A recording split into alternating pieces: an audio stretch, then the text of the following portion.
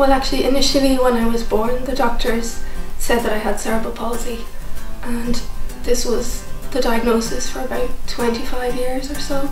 And they also said my mum had the same condition.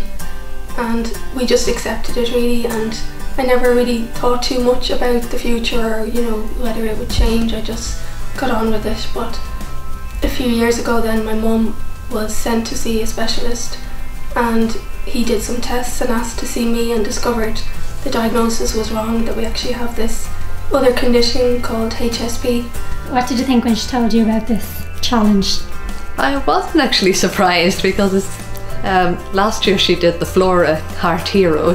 So this is just another big thing for her. It's brilliant. I'm delighted for her I know she can do it. I actually got an email from somebody in work about this program, you know, that you were looking for volunteers and I thought, oh that sounds interesting and thought Lynn would be interested so I sent it on to her and you know, she persuaded me this would be a fun thing for both of us to do so I put my name down and she said she put her name down and then changed her mind so. What do you think the main accomplishment will be?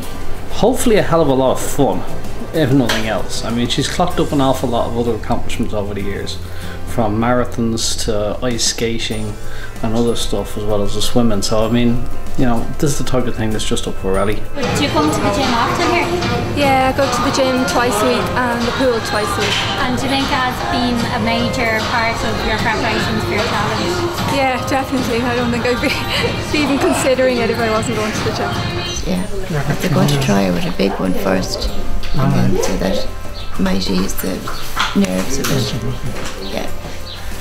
I didn't think I would be nervous, but um, now that I actually got here and seeing what she's going to do, it's um, You won't have to go yourself.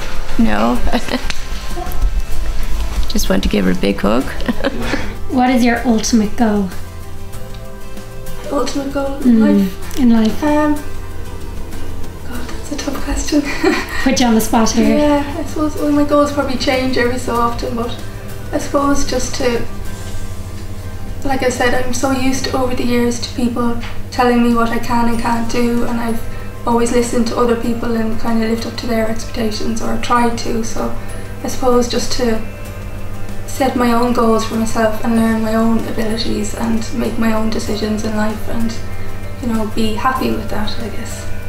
But it was the PA teacher uh, wasn't very good from that point of view. Yeah, yeah. You usually were sitting at the side of the. I seem to spend my life trying to prove people wrong and I suppose it's been a while since I've felt that sense of achievement you know I've over the years I've done little things that doctors maybe said I wouldn't be able to do um, I went ice skating there a couple of years ago and just the feeling was amazing you know I needed a lot of help but it was really worth the effort